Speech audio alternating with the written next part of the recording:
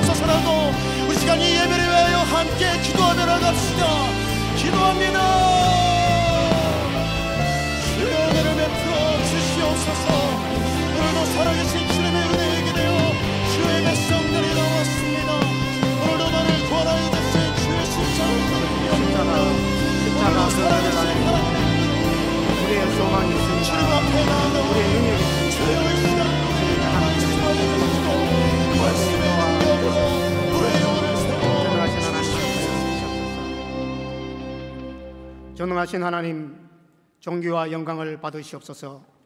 복된 주일 온 성도들이 모여 영과 진리로 예배 드리고자 합니다. 성령의 기름 부으심이 충만한 예배되게 하여 주옵소서. 한 주간 말씀에 온전히 순종하지 못한 저희 연약함을 긍휼히 여겨 주시고 은혜로 충만케 하여 주옵소서. 하나님 조국 대한민국이 하나님 보호하심 속에 열방을 섬기는 선교 한국 되게 하옵소서. 대통령과 위정자들에게 하나님을 두려워하는 마음과 나라와 백성 사랑하는 마음으로 바른 정치를 하게 하시어 하나님의 통치가 이루어지는 나라 되게 하옵소서. 목회의 비전에 따라 교회에 부흥을 주신 감사드립니다. 온 성도들이 한 마음과 한 뜻되어 오직 하나님 영광 위하여 복음 위에 계속 전진하는 행복한 교회 되게 하옵소서. 오늘 중고등부 행축 가운데 구원의 역사가 흐르게 하옵소서. 계속 진행되는 구역별 행축 진행되고 있습니다. 구역 모임 가운데 품은 태신자들이 은혜 가운데 초청되어 등록으로 이루어지게 하여 주옵소서. 24년도 제자 사회훈련, 주일학교 제자 훈련 모집과 교사 붕의 위에도 은혜를 주옵소서. 담임 목사님 성령의 충만함과 영육간의 강건함을 주옵소서. 특별히 이번에 수술 가운데 건강한 몸으로 회복시켜 주셔서 목양하는데 조금 더 부족함 없도록 복을 주옵소서. 함께 동역하는 부교육자들에게도 목회 비전에 한마음 한뜻으로 합력하여 말씀 선포와 신실한 사역되게 은혜를 주옵소서. 이 시간 말씀 선포하실 때에 온 성도들 말씀이 들려지게 하시어 아멘으로 화답하는 가운데 모든 문제 해결되는 은총을 누리게 하옵소서. 다음 세대와 청년들이 예수 그리스도 안에서 참 소망을 갖고 하나님을 경외하는 마음으로 말씀 따라 살아가는 예수의 제자가 되게 하여 주옵소서. 부흥을 위해 헌신하는 교사와 담당 교육자에게 영혼이 잘된 같이 범사 형통하게 하여 주옵소서. 수험생들에게 건강과 담대한 마음을 주셔서 최선의 결과물을 얻도록 도와 주옵소서. 어려움 속에서도 최전방에서 복음 전파하는 선교사와 가정에 은혜를 주사 모든 것이 성령으로 이루어지게 복을 주옵소서. 찬양대에서 한 주간 기도하면서 준비된 찬양으로 영광을 돌립니다. 흠령하여 주옵소서. 예배를 도는 봉사자들에게 축복하여 주옵소서. 우리의 예배를 주께 맡겨 드립니다. 감사 찬양 드립니다. 예수님 이름으로 기도 드립니다. 아멘.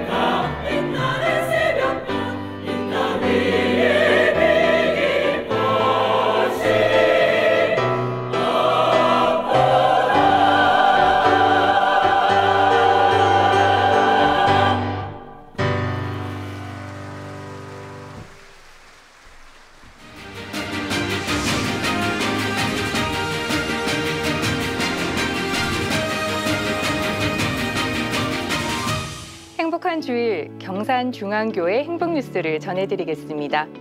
지난 주일에는 성찬식이 거행됐습니다. 깊어가는 가을 절제의 말씀을 묵상하며 성도들은 주님의 몸과 피를 기념하는 성찬식에 참여했습니다.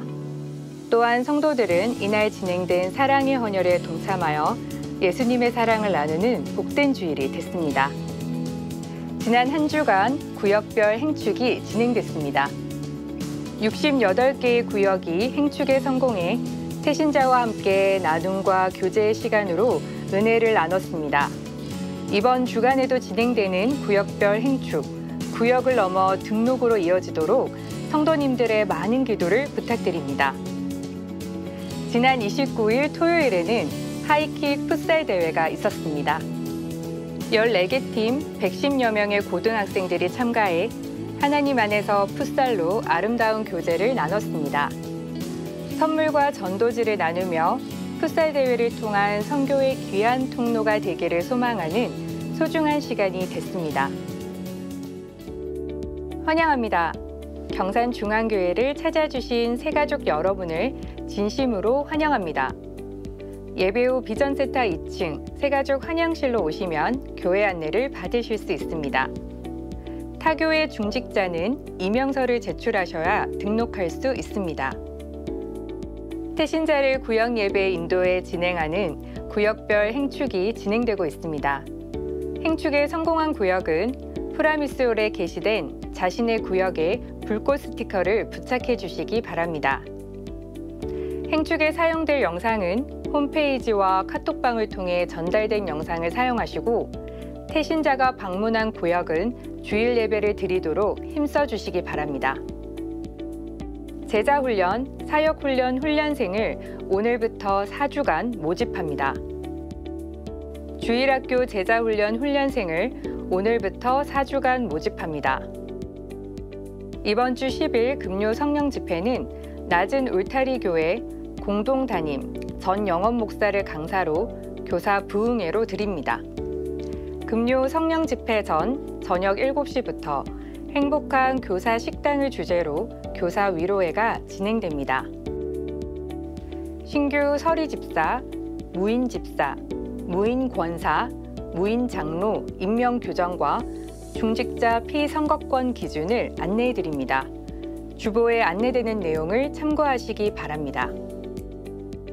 유아 세례식이 12월 25일 성탄 감사 예배 있습니다.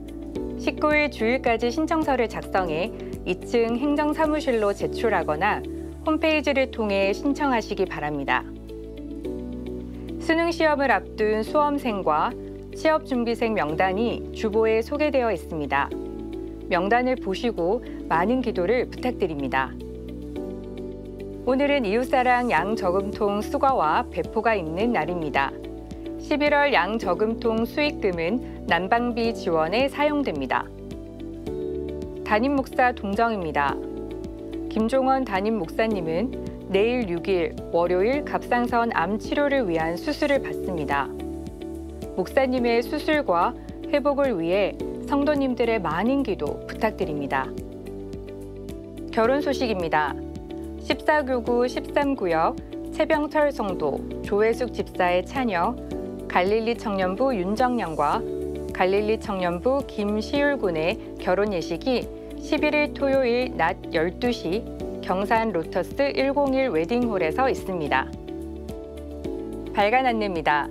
교회 매거진 행복한 사람들 11월호가 발간됐습니다. 이 시간 하나님의 말씀을 찾겠습니다. 하나님의 말씀은 야고보서 2장 14절에서 26절까지 말씀입니다. 신약 성경 373페이지에 있는 야고보서 2장 14절에서 26절까지 말씀입니다. 이제 드라마 바이블을 통해 하나님 말씀을 받겠습니다. 내 형제들아 만일 사람이 믿음이 있노라 하고 행함이 없으면 무슨 유익이 있으리요 그 믿음이 능히 자기를 구원하겠느냐 만일 형제나 자매가 헐벗고 일용할 양식이 없는데 너희 중에 누구든지 그에게 이르되 평안히 가라 덥게 하라 배부르게 하라 하며 그 몸에 쓸 것을 주지 아니하면 무슨 유익이 있으리요 이와 같이 행함이 없는 믿음은 그 자체가 죽은 것이라. 어떤 사람은 말하기를 너는 믿음이 있고 나는 행함이 있으니 행함이 없는 내 믿음을 내게 보이라. 나는 행함으로 내 믿음을 내게 보이리라 하리라. 네가 하나님은 한 분이신 줄을 믿느냐? 잘하는도다. 귀신들도 믿고 떠느니라. 아, 허탄한 사람아, 행함이 없는 믿음이 헛것인 줄을 알고자 하느냐? 우리 조상 아브라함이 그 아들 이삭을 제단에 바칠 때에 행함으로 의롭다 하심을 받은 것이 아니냐? 내가 보거니와 믿음이 그의 행함과 함께 일하고 행함으로 믿음이 온전하게 되었느니라. 이에 성경에 이른바 아브라함이 하나님을 믿으니 이것을 의로 여기셨다는 말씀이 이루어졌고 그는 하나님의 벗이라 칭함을 받았나니 이로 보건대 사람이 행함으로 의롭다 하심을 받고 믿음으로만은 아니니라. 또 이와 같이 기생 라합이 사자들을 접대하여 다른 길로 나가게 할 때에 행함으로 의롭다 하심을 받은 것이 아니냐. 영혼 없는 몸이 죽은 것 같이 행함이 없는 믿음은 죽은 것이니라. 아멘. 지금은 헌금 시간입니다. 헌금위원은 자리에서 일어나 주시기 바랍니다. 헌금을 위해 기도하겠습니다. 우리를 위한 화목 제물로 독생자를 내어 주시며 생명의 빛을 비추신 하나님, 하나님의 위대하신 구원과 영원하신 사랑에 모든 찬양과 영광을 올려드립니다. 오늘도 말씀으로 찾아오시는 주님의 임재를 사모하면서 우리의 삶이 담긴 예물을 주님 앞에 드려오니 주님 기뻐 받아 주옵소서. 드리는 모든 손길을 축복하여 주시고 이 물질이 쓰이는 곳마다 주의 영광이 나타나게 하옵소서. 예수님의 이름으로 기도합니다. 아멘. 우리의 마음을 담아 정성껏 하나님께 예물을 드립니다.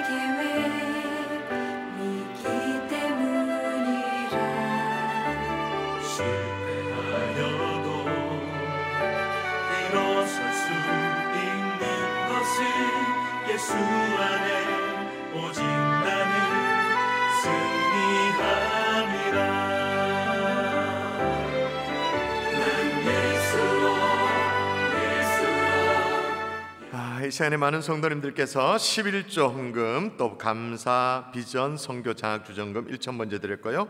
아기 축복 기도했습니다. 14다시 신혼 3구역 차승열 강지혜 집사의 장남 차유담 아기 역시 14교구의 신혼 1구역 이응인 이지은 이 집사의 차남 이은찬 아기 순으로 기도하도록 하겠습니다.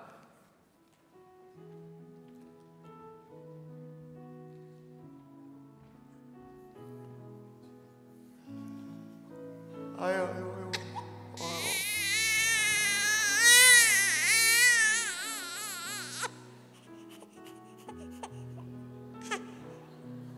기도할까요? 좋으신 아버지, 귀한 딸을 이 가정에 허락하시니 감사합니다. 하나님, 이 울음소리가 나중에 자라면 하나님을 힘있게 찬양하는 목청이 될 수 있도록 도와주시옵소서. 그리스도의 영광을 드러내는 귀한 딸이 되기를 소원합니다. 주님이 이 딸을 주님께서 축복해 주시고 함께 해 주셔서 간증의 역사, 믿음의 역사 일어날 수 있도록 도와주옵소서. 예수님 이름으로 기도합니다. 아멘. 박수 할까요? 예, 아주 슬퍼요. 예.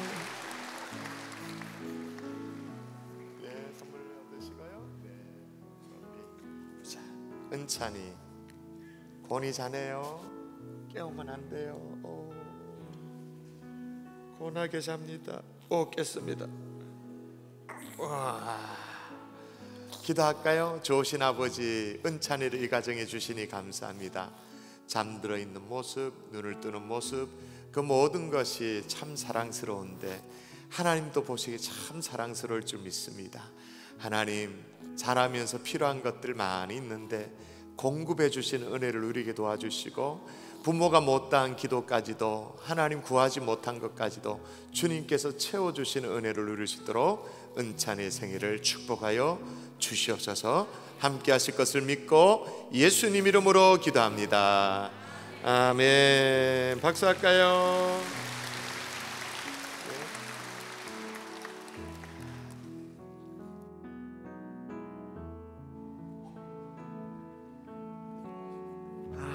감사합니다. 우리 주보 광고 좀 확인하고 말씀 나눌까요? 주보 한번 3면을 펼쳐 보시면 오는 금요일 날 우리 주일학교 지금 2부 예배가 주일학교와 동시에 있기 때문에 주일학교 선생님들이 이 자리에 거의 대부분 없을 거라 생각되는데 주일학교 선생님들을 위한 교사 부흥회로 금요 성령 집회가 진행되어집니다.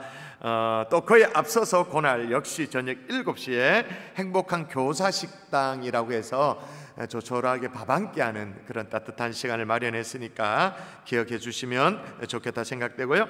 한번 넘기셔서 4면 5면에 보면 우리 본당에 새로 현수막도 있습니다만 2024년도 제자 훈련, 사육 훈련, 주일학교 제자훈련생까지 오늘부터 해서 우리 신청이 시작되어집니다. 여러분 거기에 어, 우리 사면에 보면 작년 성도들의 제자훈련 신청 자격은 어, 본교에 등록한 지 2년, 세례 받으신 지 2년, 또 성장반 성경대학 교리대학 중 하나 기본적인 양육 과정을 마친 분들 뭐 이런 자격 조건이 있습니다. 그 여덟 번째까지 있는 자격 조건을 잘 보시고 또 하단에 보시면 어, 떤 시간에 모이는가? 주일날 모이는 반 또 화요일 수요일날 새벽 제자반까지도 있으니까 이런 것들을 잘 보시고요. 또 일반 제자반과 실버 제자반의 차이가 있는데 일반 제자반의 나이를 조금 상향했습니다. 그래서 어, 일반 제자반의 또 폭이 넓어지도록 그렇게 했으니까 보시면 될 것 같고요. 똑같이 주일학교 제자훈련 일제의 모집에 들어갑니다 이런 보셔서 부모님의 동의와 담임 교사의 우리 동의가 있는 우리 아이들 내년도 2024년도 제자 훈련을 준비할 수 있도록 그렇게 하시면 좋겠습니다. 하나 더 넘겨 보시면 6면에 보면 이제 수능 시험일이 16일 앞으로 다가왔는데 여러분 보시고요. 또 7면에 보시면 우리 경산조항교회 재직 임명 규정이 있습니다. 이런 기본적인 규정이 있는 걸 보시고 또 중직자 피선거권 기준을 안내해 드리니까 미리 여러분 잘 숙지하시면 좋겠다 그렇게 생각됩니다. 잘 살펴보시면 서리집사 임명 규정, 무인집사 권사 장로 임명 규정, 또 시무 장로 안수집사 안수집사 또 시무 권사 피선거권 기준 이런 것들도 잘 확인해 주시면 감사하겠습니다. 우리 같이 한번 기도하고 말씀 받을까요? 같이 한번 기도하십시다. 하나님 아직 요절 말씀 요절 말씀 요절 말씀 암송해야 되죠? 자 이기기를 다투는 자마다 모든 일에 뭐 한다고요? 예, 절제. 시작. 이기기를 다투는 자마다 모든 일에 절제하나니 그들은 썩을 승리자의 관을 얻고자 돼 우리는 썩지 아니할 것을 얻고자 하노라. 아, 요절 말씀을 마음에 새기면서 하나님 우리가 하나님의 말씀 가운데 우리 영혼이 살아나는 줄 믿습니다. 그렇게 기도할까요? 하나님 말씀으로 말씀의 꼴로 말미암아 우리 영혼이 살아납니다. 오늘 또 하나님 공급해 주시는 하나님의 말씀을 아멘 아멘 하나님 받아 먹어서 우리 영이 살아나는 이 새벽 또 이 주일 예배 시간 될 수 있도록 주님이여 도와달라고 우리 합심하여 함께 기도하도록 하겠습니다. 기도합니다. 살아계신 아버지 하나님이여 주여 도와주시기 원합니다. 하나님의 말씀 우리 영혼을 살리는 줄 믿습니다. 말씀만이 우리 영혼을 살릴 수 있는 줄 믿습니다. 말씀하여 주시기 원합니다. 오늘 양떼들과 하나님의 말씀을 나눌 때 주여 도와주시옵소서. 하나님의 말씀이 가감없이 증거되어지기를 소원하오니 성령이 하나님의 기름 부어 주시고 인도하여 주시고 하나님의 축복하여 주시옵소서. 종을 사로잡아 주셔서 하나님 능력의 말씀 은혜의 말씀 하나님의 성령의 기름 부으신 말씀으로 함께 나누게 부담도록 성령이여 도와주시옵소서. 오늘 하나님의 가른 심려로 주님 앞에 나왔습니다. 하나님의 선포되는 말씀 앞에 아멘 아멘 할때 영혼의 흡족함을 누릴 수 있도록 하나님 만족한 주의 은혜가 있도록 축복하여 주시옵소서 믿사옵고 감사하며 예수님 이름으로 기도합니다 아멘 아멘 할렐루야 아멘. 할렐루야 아멘. 지난주에 제가 신조어 어, 포모에 대해서 알려드렸죠. 포모라는 게 Fear of Missing Out의 약자라고 말씀드렸습니다. 혹시 내가 뭔가를 놓치는 거 아닐까? 혹시 내가 세상의 흐름을 놓쳐가지고 뒤처지는 것이 아닐까라는 그런 막연한 두려움, 이게 포모라고 말했습니다. 이 포모의 마음을 가장 잘 써먹는 것이 쇼핑몰이로 쇼핑몰이라고 말했어요. 매진 임박이라든지 뭐 한정 수량이라든지 그런 이제 자막이 뜨면 우리 마음 막 급해지잖아요. 이유도 없이 막 급해지잖아요. 반대로 조모도 있다 그렇게 말했습니다. 조모는 뭐냐? Joy of missing out. 그러니까 이건 내려놓음의 기쁨인 거예요. 내 인생에 그렇게 중요하지 않는 것들을 놓아버림으로 말미암는 자유, 놓아버림으로 말미암는 해방 이런 게 있다라는 거죠. 자, 우리 그리스도의 삶이 어떤 쪽이냐? 이 포모의 막연한 두려움에 끌려다니는 그런 삶이 아니라 조모, 그러니까 내려놓음의 기쁨, 나를 절제하고 내려놓는 그런 자유, 해방을 만끽하는 삶이 그리스도인의 삶이다라고 지난주에 함께 나눴어요. 자, 오늘은 신조 나토족이라는 게 있습니다. 나토. 예, 북대서양 조약기구 나토, 나토 연합국 그 나토 말고 뭐의 약자냐면 No Action Talking Only. 이거 번역 안 해도 알겠죠? No Action 행동은 없어. 뭐만 한다고요? Talking 말만 한다. 행동은 없고 말뿐인 사람 나토족이라는 신조가 있습니다. 여러분 한국 교회가 사회적으로 지탄을 받는 이유가 다른 게 아니잖아요. 바로 이 문제 아닙니까? 우리가 이 사회로부터 신뢰를 받지 못하는 이유도 우리가 말을 못해서가 아닙니다. 말 잘합니다. 나름대로 신앙적인 주장도 할 줄 압니다. 말은 신앙적으로 합니다만은 행동은 여전히 비신앙적이고 비윤리적이고 비도덕적인 그것 때문에 사회적으로 지탄을 받잖아요. 혹도 신실해 보이는 그런 삶을 사는 그런 삶을 살아내는 성도가 혹 있다 칩시다. 근데 그걸 안에 들여다보면 그 삶이 너무 극단적인 율법주의자야. 정말 바리새인 같아. 그래서 주변의 사람들의 숨을 턱턱 막히도록 한 그런 삶을 또 살아. 그렇기 때문에 그런 것들을 지켜보는 세상 사람들이 우리를 향해서 등을 돌리는 거죠.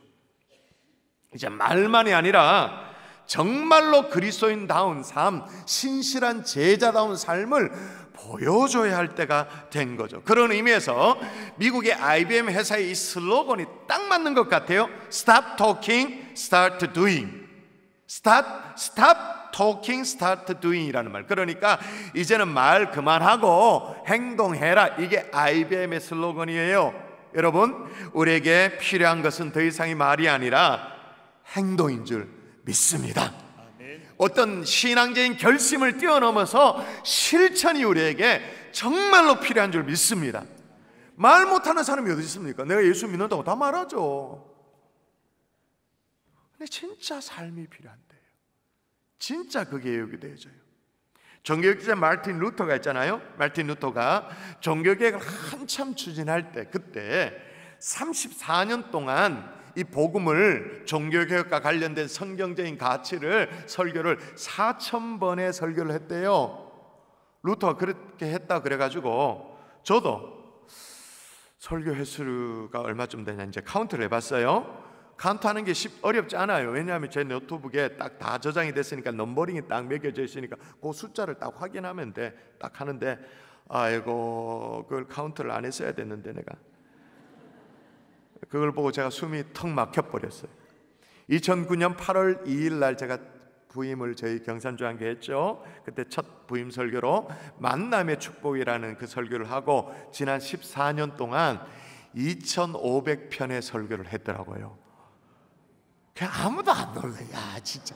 진짜 너무하다, 야. 나는 숨이 턱 막힐 정도로 놀, 와, 내가 이랬나 싶, 놀, 그러니까 제가 뭐 신방 가서 하는 설교, 장례, 결혼 그런 설교 말고 뭐 계엄이 그런 거 말고 이 강단에 이 강대상에서 한게 2,500번이더라고요. 그러고 보니까 34년 동안 4,000편의 설교를 했다는 루터 못지않게 나도 열심히 말씀 사역을 감당했구나라는 그런 생각이 들어요. 앞서 제가 어, 또 광고에 제 신변에 대한 광고가 있었습니다만은 그런 생각이 들어요. 야, 참 많이 썼구나. 목에 핏대로 올려가면서 많이 썼으니 뭐 어쩔 수 없겠지. 이런 생각도 한편을 드는 거예요. 루터는 그렇게 설교를 많이 했다고 생각하는데 자기 설교를 들은 이 청중이 좀처럼 복음적으로 변화되지 않는 것을 보고 깊은 회의에 빠졌대요. 말로는 복음을 얘기하고 말로는 종교 개혁을 그렇게 외치지만 행동을 따르지 않는 성도들을 바라보면서 몇 달 동안은 설교를 하지 않고 그렇게 지낸 적도 있었다 그렇게 합니다. 오늘 이 야고보서를 살펴보고 있는데 야고보서도 어떤 의미에서는 한편의 설교가 아닙니까? 설교자 야고보가 예수님의 동생이었기 때문에 어려서부터 예수님의 그 언행 일체 삶을 보면서 성장했을 거 아니겠습니까? 그래서 설교를 하면서 신앙과 실천, 믿음과 행위 이 균형을 강조하면서 오늘 메시지를 전하고 있는 거예요. 오늘 본문을 딱 읽어보면 읽었던 본문 안에 믿음이라는 단어가 몇 번 나오냐면 11번이 나와요. 오늘 13절에 해당되어지는 본문을 읽었는데 그러니까 거의 매 절마다 믿음이 나오는 거예요. 그리고 행함은 몇 번 나와요? 12번이 나와요. 그러니까 믿음과 행함은 신앙의 어떤 뭐랄까요? 동전의 양면같이 믿음, 행함, 그래서 여러분 금세기 최고의 성경 주석가로 일컬어지는 윌리엄 바클레이가 뭐라고 말했냐면 이 부분을 이렇게 말합니다. 행위로 구원을 얻을 수 있는 사람은 없다. 맞죠? 행위로 구원을 얻을 수 있는 사람은 없다. 우리가 착하게 살아가지고 남 해코지 않고 살아가지고 구원을 받을 수 있는 사람은 없다. 맞죠? 그런데 다시 행위로 구원을 받을 수 있는 사람은 없다는 것도 사실이지만 마찬가지로 행함이 없이 구원을 받을 사람도 없는 것이다. 자, 다시 읽어 드릴게요. 행위로 구원을 받을 수 있는 사람은 없다. 이건 당연히 이해됩니다. 그 사실이지만 마찬가지로 행함이 없이 구원받을 사람도 없는 것이다. 라고 말하면 우리는 솔직히 장로교 성도입니다.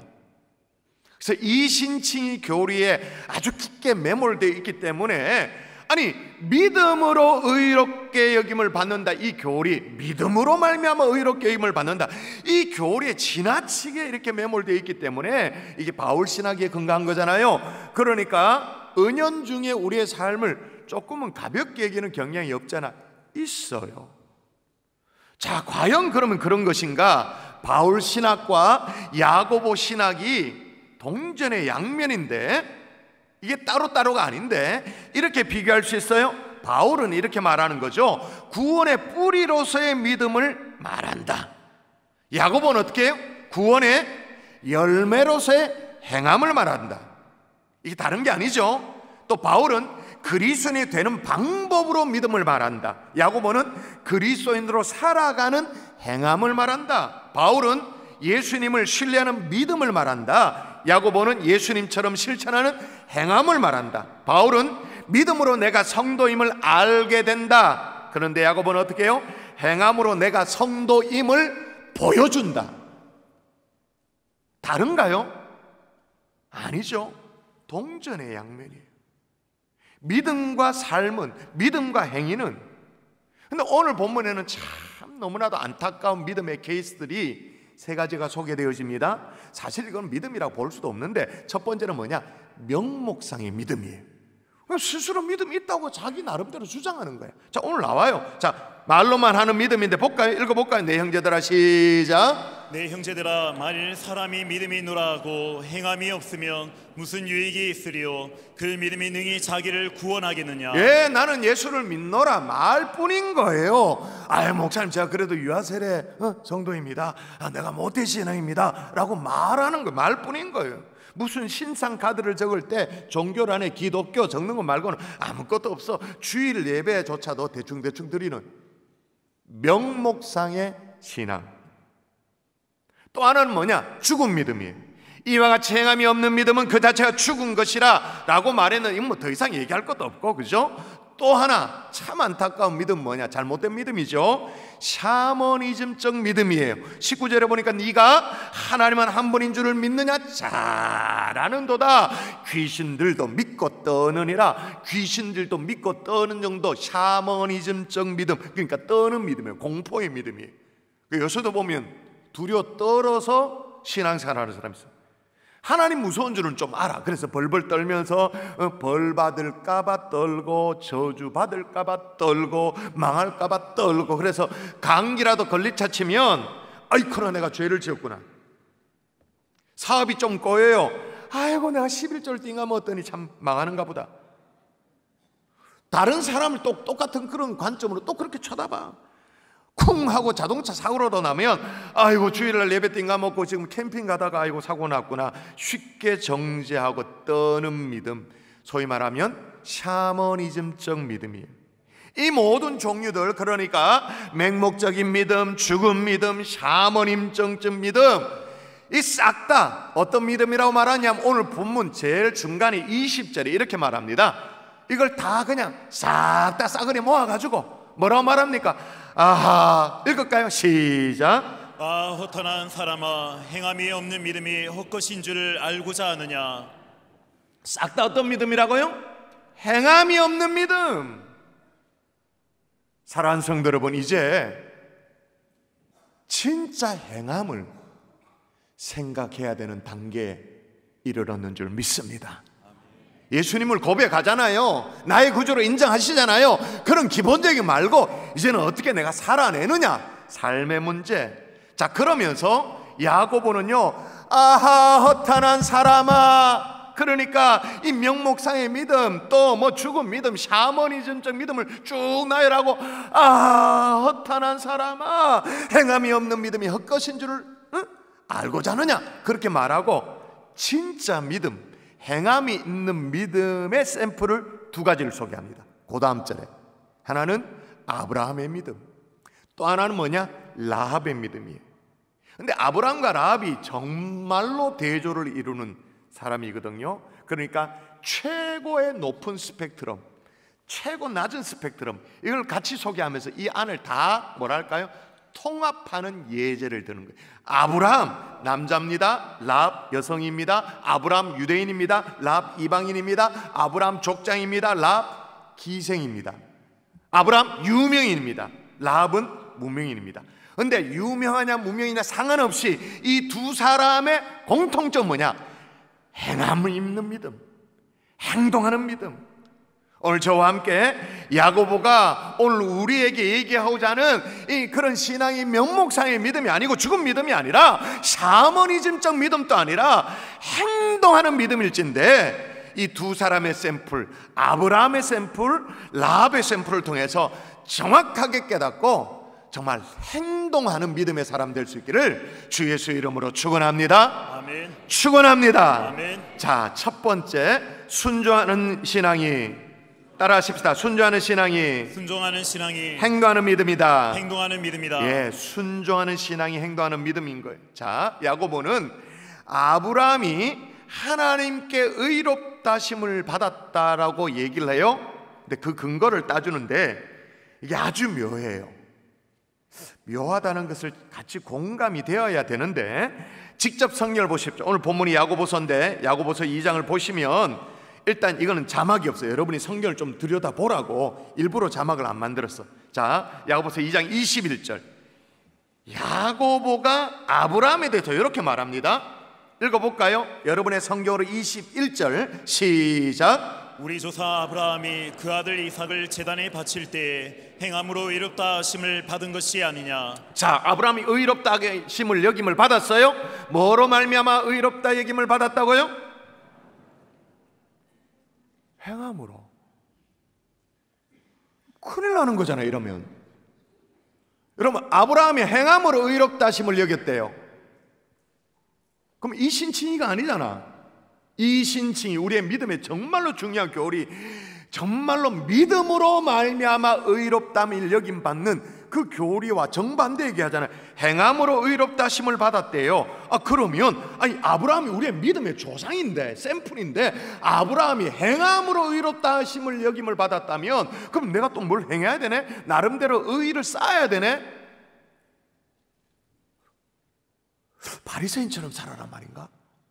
근데 이어서 22절 이건 자막이 있습니다. 읽어볼까요? 우리처럼 오해하는 사람이 금방 있으니까 22절에 바로 얘기합니다. 읽을까요? 시작. 내가 보거니와 믿음이 그의 행함과 함께 일하고 행함으로 믿음이 온전하게 되었느니라. 예, 우리처럼 오해하는 사람이 생길까봐 금방 풀어 설명해요.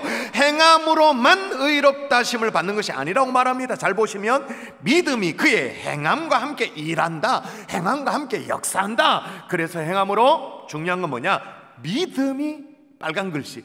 믿음이 온전하게 된다. 그렇게 말합니다. 그러니까 야고보는 우리처럼 이신칭이 교리냐 이런 별로 관심이 없고 온전한 믿음에 관심이 있는 거예요. 그럼 온전치 못한 믿음이 뭐냐? 앞서 다 소개했잖아요. 뭐예요? 그러니까 명목상의 믿음, 말로만 믿노라 하는 거, 죽은 믿음, 샤머니즘적 믿음, 귀신의 믿음, 그런 것도 온전치 못한 거예요. 그러면 온전한 믿음, 이게 뭐냐? 자, 23절 읽어볼까요? 다시, 다시 얘기하고, 헷갈리지 마십시오. 23절 읽으면 이제 헷갈려지지 않습니다. 시작. 이에 성경에 이른바 아브라함이 하나님을 믿으니 이것을 의로 여기셨다는 말씀이 이루어졌고 그는 하나님의 벗이라 칭함을 받아나니 예, 아브라함이 하나님을 뭐하니? 믿으니 이것을 의로 여기셨다.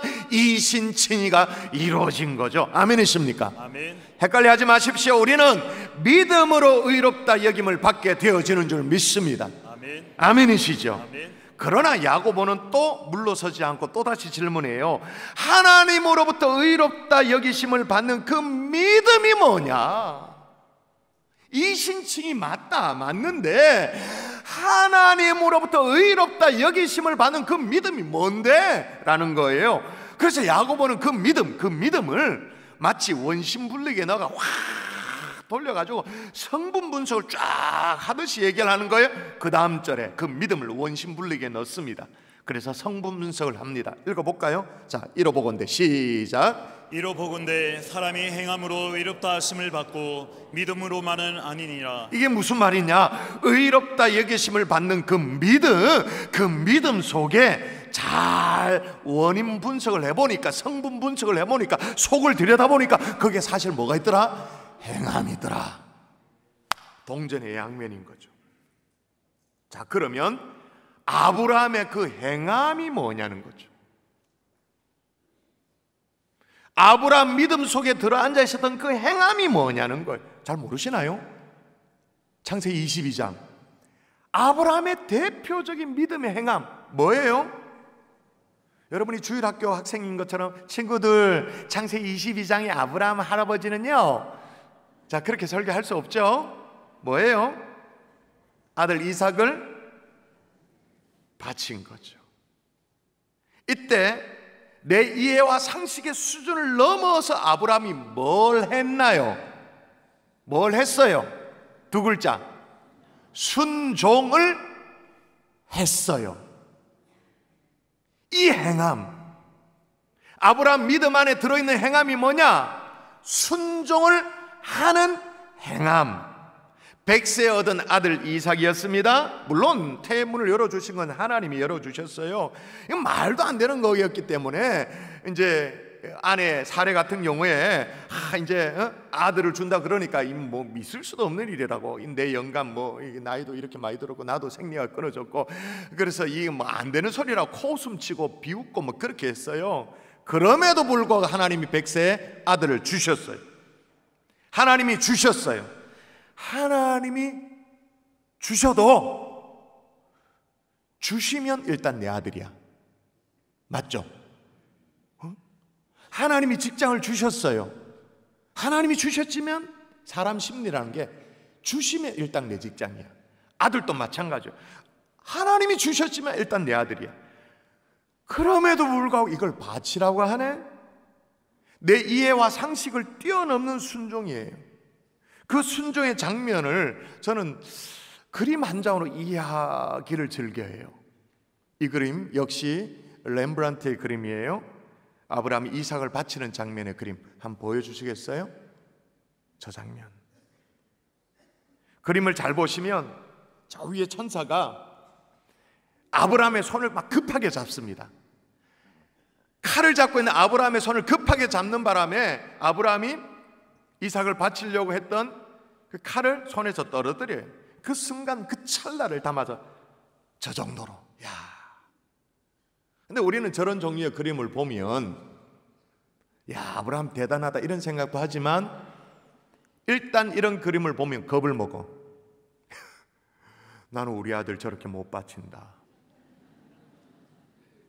뭐 그 아들 바치라고 안 하겠지만 그런 내게 순종을 요구하면 난 그렇게 할 용기가 없다. 일단 겁을 먹어. 난 난 뭐 한다 나는. 오, 내가 어떻게 하냐.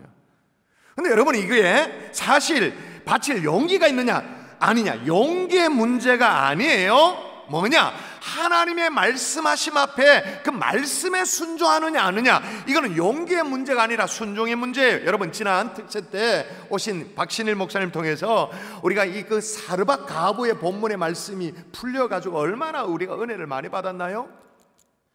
이게 뭔 소리를 모르면 새벽에 안 나온 사람들이다 그죠? 자, 그걸 다시 재방송 설교를 할 수 없고 하여튼 간에 열왕기상 17장에 보면 이 사르밧 가보가 나오는데 열왕기 왕들의 역사를 쫙 기록하는 그 화려한 열왕기에 한낱 여인 과부 스토리가 기록되어 있는 거예요. 근데 그게 보석처럼 빛나는 스토리죠. 근데 이게 진짜 생뚱맞았어요. 더욱더 그런 것이 어떤 거냐면 찢어지게 가난한 가부집이었는데 이제 뭐 탈탈 털어 먹고 이제 남은 거 하나 먹고 이제 아들과 함께 먹고는 죽으려고 마음 먹는 진짜 가난한 집에 그 집에 하나님께서 하나님의 종을 보내 가지고 한다는 얘기가 뭐냐면 먼저 그곳으로 나를 위하여 작은 떡 하나를 먹게 해라 내게 가져와라 이런 부담이 어딨냐는 거예요. 너무 심하지 않는 거예요. 가난에 빠졌는데 그 먹고 남은 거 그거 먹고 죽으려고 마음 먹고 있는데 어? 주의 종이라고 일컬어져 엘리야가 가가지고는 그거 내게 먼저 먹게 하라. 이야 그 부당함이 늘 의문이었어요. 마치 아브라함에게 아들 이삭을 하나님이 주셨지만 어떻게 이삭을 바치라고 말하느냐 아들 바치라 말을 하느냐 이상하잖아요. 근데 우리가 몰랐던 게 있었잖아요. 그죠? 하나님이 엘리야에게 사르밧 가보에게 신부를 보내기 전에 이미 사르밧 가보에게 주신 말씀이 있었다는 걸 몰랐어요.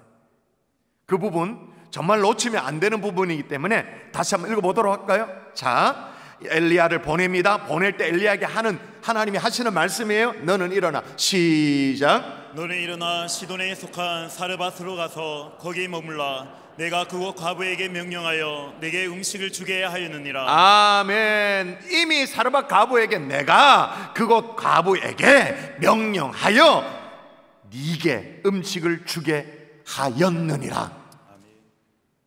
그러니까 하나님의 사람 엘리야가 올 것인데 그에게 음식을 주라고 주신 말씀이 이미 사르밧 가부에게 있었던 거죠. 주신 말씀에 순종하느냐 아니냐. 사랑하는 성도들 우리가 모든 하나님의 말씀에 순종을 다 못한다 할지라도 그건 참 현실적으로 어렵다 할지라도 내게 주신 말씀 앞에 순종할 수 있기를 주의 이름으로 축원합니다. 마찬가지 아브라함도 지금 아들 이삭을 바치라는 이해할 수 없는 부담 명령이 있어 보여요. 근데 그에 앞서 하나님이 주신 말씀이 있었어. 여러분 기억나십니까? 지금 이삭을 바치라는 것은 창세기 22장. 그에 앞서 창세기 12장에 하나님께서 이미 아브라함에 이런 말씀을 주셨어요. 내가 너로 큰 민족을 이루고 내게 복을 주어 내 이름을 창대하게 하리니 너는 복이 될지라. 이제 아들 정도가 아니라 큰 민족을 이루도록 해주겠다. 이미 말씀하셨어요. 이게 한 번이 아니야. 15장, 15장 읽어볼까요? 또 어, 글을 글을 시작. 그를 이끌고 밖으로 나가 이르시되 하늘 우러러 묵별을 셀수 있나 보라 또 그에게 이르시되 내 자손이 이와 같으리라 예. 아브라함이 이걸 믿은 거, 이걸. 이걸 믿어서 이게 창세기 15장 5절이에요. 그 다음 절 딱 한 절 넘어가니까 하나님이 뭐라고 말씀하셨냐? 읽을 너무너무 중요한 구절. 우리의 이 신칭이 교리가 시작되어지는 이 구절. 시작. 아브라함이 여호와를 믿으니 여호와께서 이를 그의 의로 여기시고 아멘. 아브라함이 여호와를 많이 믿으니 여호와께서 이를 의로 여기셨다. 이 신칭이. 그러면 하나님이 의롭게 여긴 그 믿음 안에 뭐가 포함되어 있는 거예요 사실은 지금 창세기 15장이지만 몇 장 지나가서 창세기 22장에 아들을 바치는 순종이 그 믿음 안에 이미 포함되어 있는 거예요. 그러므로 믿음과 순종이 따로따로일 수가 있나요? 마치 현대판 로미오와 줄리엣 얘기 한번 들어보세요. 로미오가 이제 이제 연인 줄리엣에게 편지를 써요. 사랑하는 줄리엣, 그대의 눈동자를 보기 위해서라면 태평양이라도 헤엄쳐 건너가고 싶소. 그대의 손을 한번 잡아보기 위해서라면 불 속이라도 뛰어 들어가겠소. 아, 벌써 막 닭살이다, 야씨. 우리는 그런 거 뭐 합니다, 그죠? 이 자리에 있는 남성들이요, 그죠? 흉내 내지 마세요. 어울리지도 않습니다, 그런 거. 그리고 다 다음 토요일에 그대를 꼭 찾아가겠어. 그러면서 로미오가 줄리엣에 편지를 써요. 다음 토요일 날 꼭 찾아가겠다고. 근데 그 다음 뭐라고 적혀? 물론 비가 오지 않으면 말이요. 사랑 고백 멋지게 한 것 같아요. 막 그 마음이 뜨끈뜨끈하게 느껴지는 것 같아요. 제일 끝에 근데 뭐라고요? 만나러 가야 되는데 비가 안 오면 가겠다고. 이거 진짜입니까? 가짜입니까? 그 말은 말은 그럴싸하지만 가짜인 거죠. 오늘 야고보서도요. 뭐라고 아하 허탄한 사람아 행함이 없는 믿음이 헛것인 줄을 알고자 하느냐? 그렇게 말하고 있는데 야고보는요 이미 1장에서 이미 이렇게 경고하고 야고보서를 시작하고 있어요 1장 22절 읽어볼까요? 읽습니다 시작 너희는 말씀을 행하는 자가 되고 듣기만 하여 자신을 속이는 자가 되지 말라 여러분 스스로 속이지 말고 행함 있는 믿음의 사람 될 수 있기를 주 예수 이름으로 축원합니다. 아멘. 깊어가는 가을에 정말 여러분의 행동하는 믿음을 진지하게 고민하면서 한 걸음 한 걸음 내딛는 진짜 믿음의 사람 될 수 있기를 주 예수 이름으로 축원합니다. 또 하나 뭐냐 따라하십시다. 모 많은 신앙이 모 많은 신앙이 행동하는 믿음이다. 행동하는 믿음이다. 이번에는 모험이에요. 아브라함은 순종이었다면 이번에는 라합을 소개하는데 여러분 라합은 그 옛날 이스라엘 백성들이 가난 이제 정복할 때 말이에요. 정탐을 먼저 가잖아요. 정탐을 갔는데 이 정탐꾼들이 참 위기에 몰렸어요.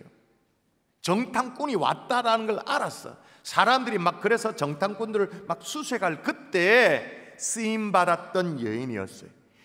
이 라합은 이방인이었습니다. 그리고 주막집 뭐 이렇게 말하면 좀 접대부였어요.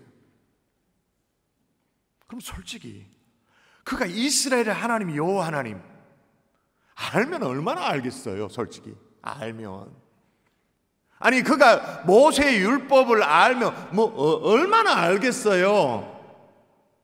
아주 약팍한 수준의 알미였겠죠. 아주 얕은 수준, 아주 약한 지식 수준에서의 믿음이었을 거예요. 그럼에도 불구하고 라합은 진짜 믿음으로 정탐꾼들을 어? 대접하고 또 숨겨주고 또 탈줄도 시켜주고 그렇게 해요. 이걸 뭐라고 표현해야 되냐? 모험이라고 말할 수밖에 없어. 진짜 적은 옅은 신앙의 지식으로도 생사를 거는 모험을 했다 그 말인 거예요. 여러분 솔직히 또 얘기해 봅시다. 그렇게 모험한 것 정탐꾼들이 와서 그를 이제 대접해 주고 숨겨 주고 아 그 뭐 좀 위기에 몰린 사람 참안 됐는 사람 그런 사람을 좀 보살펴 준 것 그게 뭐 그냥 선대한 걸 가지고 믿음이냐? 라고 말하고 싶은 마음이 들죠. 근데 여러분 히브리서 11장은 소위 믿음장이라 일컬어져요. 근데 성경이 라합을 어떻게 소개하느냐? 읽어야 됩니다. 읽도록 합시다. 히브리서 11장. 시작. 믿음으로 기생 라합은 정탐꾼을 평안히 영접하였으므로 순종하지 아니한 자와 함께 멸망하지 아니하였도다. 아멘. 성경이 공식적으로 라합 이름 앞에 뭐라고 적어놨냐면 기생. 좀 심해, 심하게 말하면 접대부 라합. 근데 접대부보다 더 중요한 게 그 앞에 있어. 뭐예요? 믿음으로. 믿음으로. 그러므로 여러분 행동하는 믿음이 되어진다. 이 말은 그 자체가 모험의 요소가 있는 거예요. 여러분이 말씀대로 정말 살아본다. 말씀대로 실천해 본다. 말씀대로 내 생을 조금이라도 움직여 본다. 라고 마음을 먹으면 그 자체가 모험의 요소가 있는 거죠. 상식선을 뛰어넘는 게 반드시 있어요. 여러분 이번 특세 오셨던 박신일 목사님 얘기를 했습니다만은 이제 행복 토크를 진행했잖아요. 그러면서 제가 이제 어, 개척 스토리도 질문하고 그렇게 했어요. 목사님께서 이제 공부를 다 접고 그 험한 이민 바닥에 이민 사회에서 교회를 개척한다고 마음을 먹고 정하고 네 가지 원칙으로 교회를 개척했다고 했죠. 첫 번째는 뭐냐? cell church. 그러니까 소그룹 중심의 교회를 개척한다. 모두 동의되죠. 두 번째, 선교와 전도를 지향하는 그런 개척을 한다. 세 번째, 다음 세대, next generation을 위한 다음 세대를 위한 그런 교회를 개척한다. 그래서 그그세 번째까지 얘기할 때까지요. 뭐 우리 교회와 너무 흡사한 거예요. 그래서 제가 막 이렇게 막 끼어들고 싶고 막 아, 우리도 비슷한데 막 이렇게 하고 싶었어 사실은. 근데 그런 찰나를 못 찾아 얻었지. 근데 네 번째가 좀 달라. 네 번째 모험하는 교회. 좀 이상하잖아요. 그 다음에 설명이 뭐냐면 교회가 성경적인 교회가 된다면 성경의 어떤 원리를 따르는 교회가 된다면 성경의 진리 외에는 모든 것을 다 바꿀 수 있는 모험을 할 수 있어야 된다 그런 거. 모험하는 교회. 그래서 모험적인 교회라는 거예요. 여러분 이제 여러분이 말씀대로 살아보려고 한다면 여러분의 체질에 맞지 않는 모험을 시도해야 될지도 몰라요. 성경의 원칙대로 말씀대로 그렇게 살아보려면 여러분에게 모험이 좀 필요할지도 몰라요. 오늘 실질적인 얘기를 하는 날인데 요즘 경제가 어렵고 가정 경제도 어렵고 다 어려요. 11조 생활 못 하던 사람 11조 엄청난 모험이에요. 그걸 모험 아니라고 말할 수가 있나요? 단순히 그걸 신앙, 믿음 이렇게 말할 수 있나요? 아니죠. 보폭을 확 내딛는 거니까 이건 모험이에요. 여러분 어떤 교회에 이제 그, 그 교회를 이제 탐방 가는 팀이 있었는가 봐요. 탐방을 가서 목사님께 여쭙어요. 아, 목사님 교회 성도 출석 교인이 어떻게 되냐 그러니까 주일 출석이 한 300명입니다라고 대답을 했어요. 어 그러니까 이제 탐방 간 팀이 교인이 한 300명이면 교회가 이제 어느 정도 재정적으로 자립을 했겠다 생각을 해가지고 그 다음 이어서 질문하기를 11조 성도는 몇 명쯤 되냐고 이렇게 물었거든요. 300명이라고 대답하는 거예요. 어, 탐방 갔던 팀이 깜짝 놀라서 여러분 300명 주일 출석 성도들이 100% 11조를 한다? 그럼 보통 교회가 아닌 거거든요. 그래서 와, 정말 300명이 전원 11조를 하다 하는 그런 성도인가요? 라고 물었더니 이 목사님이 아주 천천히 대답을 하죠. 예, 맞아요.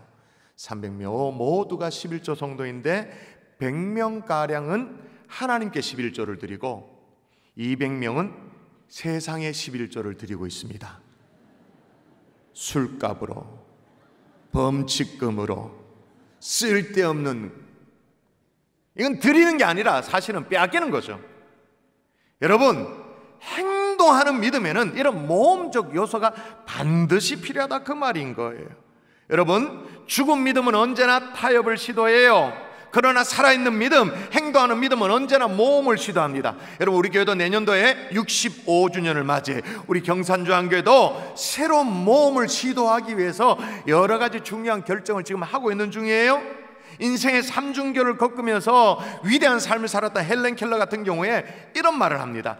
인생이란 대담하게 나서는 모험이거나 아니면 아무것도 아니다. 다시요. 인생이란 대담하게 나서는 모험이거나 아니면 아무것도 아니다. 말씀의 결론을 맺을게요. 성경 우리에게 이렇게 충고합니다. 이런 말씀이 없으면 참 좋겠는데 예를 들면 고린도후서 13장 5절에 이렇게 말합니다. 너희는 믿음 안에 있는가 너희 자신을 확 시험하고 너희 자신을 확증하라. 저는 좀 각색을 붙인다면 너희는 믿음 안에 있는가 이 믿음을 이렇게 해석하고 싶어요. 우리는 맨날 그러잖아요. 어, 내가 믿음으로 구원받았다고 이신칭이 나는 천국 백성 됐다고 그렇게 말하는 그 믿음, 그 너희 믿음 안에 있는가? 너희 자신을 시험하고 테스트하고 너희 자신을 확정하라. 여기서 말하는 믿음이 뭘까요? 명목상의 믿음을 말할까요? 죽은 믿음, 행함이 없는 그런 믿음 말할까요? 어, 하나님 한 분인 줄 아느냐? 잘 하는구나.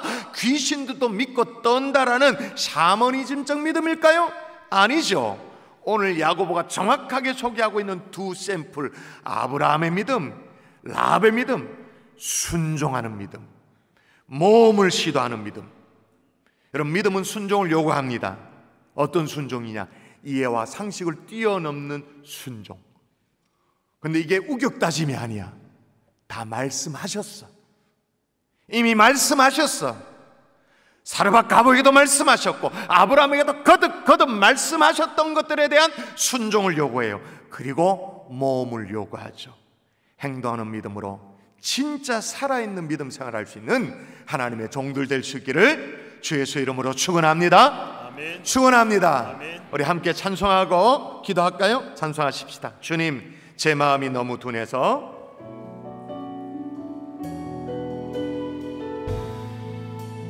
주님 제 마음이 제 마음이 너무 눈에서 주님을 볼 수 없습니다. 볼 수 없습니다. 이 땅에 속하여. 이 땅에 속하여. 이 땅만 보다가 주님 손을 놓쳤습니다. 나는 나그네로 왔는데 난 나그네로 로 왔는데 왜 주저앉게 되었나? 나는 정직이 언제부터 내 삶의 주인이 되어버렸나? 되어버렸나? 믿음이 없이는 믿음이 없이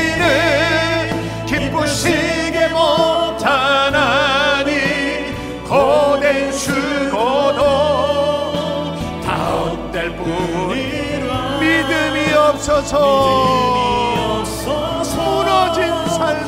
무너진 삶에 모든 자리에 다시 주님을 기다립니다. 자, 좀 전에 일부 예배 때도 제가 그렇게 설명을 드렸는데요. 제가 어, 그 전까지는 괜찮았는데요. 지난 금요일부터 제 마음에 막 애틋함이 막 이렇게 막 몰려왔어요. 어떤 애틋함이냐면 지금의 내 목소리로 설교할 수 있는 게 마지막일 수도 있겠다. 지금의 마음을 쏟아 막 찬양하고 주민을 찾고 어, 막 이렇게 막 하는 이게 기도하고 찬양하는 것이 또 상황이 달라질 수도 있겠구나라고 생각하니까 막 마음이 이렇게 막 하, 그냥 설교가 되어지는 게 아니라 그냥 찬양이 아니라 정말 마음을 담게 되더라고요. 근데 1부도 그렇고 2부도 그렇고 한 12명 정도가 그냥 이렇게 립싱크만 하고 있어. 하나님이 기회를 주셨을 때 할 수 있을 때 마음껏 찬양하고 마음껏 주님도 찾아보고 그렇게 해 보십시다. 우리 다시 한번 처음부터 주님 제 마음이 너무 둔해서 우리 찬양할까요? 주님 제 마음이 제 마음이 너무 둔해서 주님을 볼 수 없습니다. 이 땅에 속하여. 이, 땅에 속하여. 이 땅만 만 보다가 주님 손을 놓쳤습니다. 나는 나그네로 왔는데 나그네로 왔는데 왜 주저앉게 되었나 나는 정직인데 언제부터 내 삶의 주인이 되어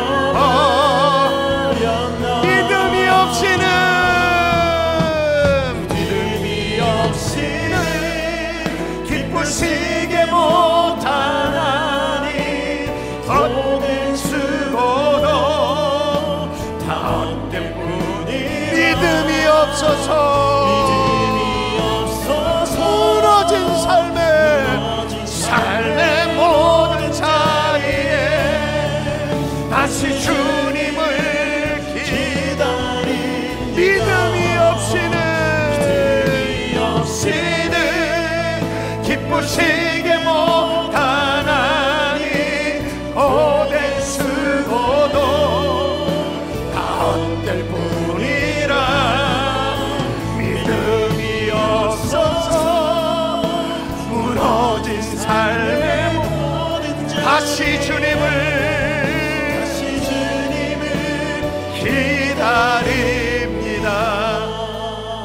우리 합심하여 기도할 때 하나님 영적인 나토독 되지 않기를 원합니다. 말만 하고 행동은 없는 그런 삶이 되지 않기를 소원합니다. 이제는 행동하는 믿음. 아브라함, 라합, 하나님 아브라함처럼 순종하는 믿음이 될 수 있도록 도와주시옵소서. 모든 것들에 순종을 못한다 할지라도 하나님이 내게 말씀하시면 너무나도 선명하게 말씀하시면 순종할 수 있도록 도와주시옵소서. 하나님 믿음의 요소에는 언제나 모험이 필요한데 모험할지언정 하나님 믿음으로 정말 행동으로 살아낼 수 있도록 주님이여 도와달라고 이 시간에 저와 함께 주님 한번 찾고 기도하도록 하십시다. 주님 찾습니다. 주여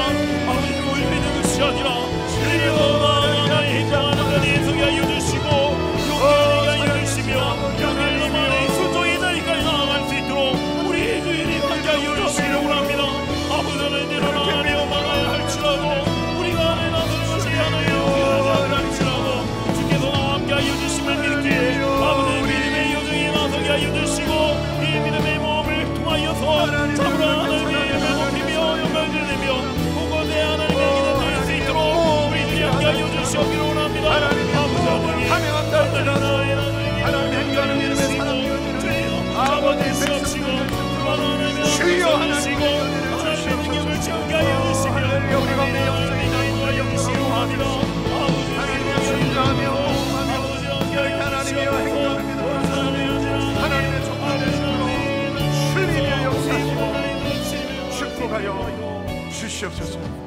살아계신 아버지 오늘 2부 예배 나오는 하나님의 백성들 가운데 한 명도 영적인 나토족이 없기를 소원합니다. 행동하는 믿음의 사람 되기를 원합니다. 아브라함처럼 순종하는 믿음 라합처럼 모험하는 믿음 모든 말씀의 순종이 어렵더라도 선명하고 뚜렷하게 말씀하셨다면 내게 말씀하셨다면 순종하게 하여 주시옵소서. 모험을 감행하더라도 행동하는 믿음으로 나아가는 하나님의 종들 있도록 축복하여 주시옵소서.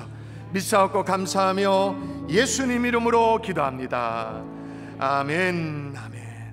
오늘 행복한 경산주 한계 2부 예배 등록한 분들이 꽤 있습니다. 우리 문복남 성도님 또 전미숙 성- 미수 성 집사님 인도했습니다. 김점향 성도님 박수하겠습니다. 도선 집사님 도원한 성도님 인도했습니다. 도호주 성도님 김원희 집사님 김계화 집사님 인도했습니다 박지혜 성도님 장서은의 집사님 인도했습니다. 박자인 성도님, 장성기 장로님, 김명건 사님 인도했습니다. 이태교 성도님, 김연비 장로님 인도했습니다.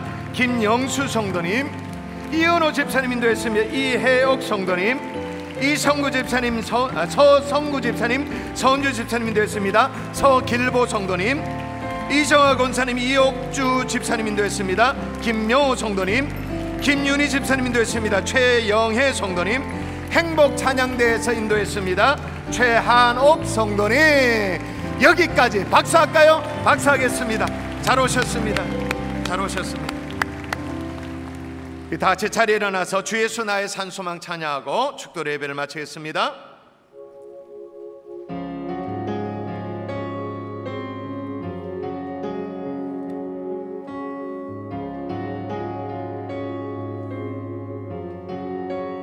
언약된 아침. 된 아침 장사된 몸 부활의 호흡. 의 호흡 시작됐네. 유다의 사자 나의 사장 위험찬 선포. 사망이 무너졌도다. 사망이 무너졌도 아멘. 이제 사망은 무덤이 더는 우리를 주장할 수 없네. 주장할 수